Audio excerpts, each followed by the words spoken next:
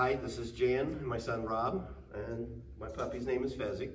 Uh, we came to Bulletproof. Uh, Casey's had our puppy for the last two weeks. Um, been great training. Uh, a lot of uh, a lot of new commands to learn, but we're uh, we're we're, we're working on that.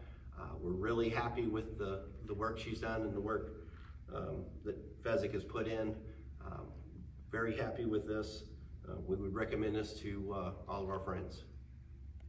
Yeah, it's it's it's crazy knowing all the new commands, but man, he he acts he, he's just so much more calm now and just more collected. He's he's gonna be a great dog someday. I know.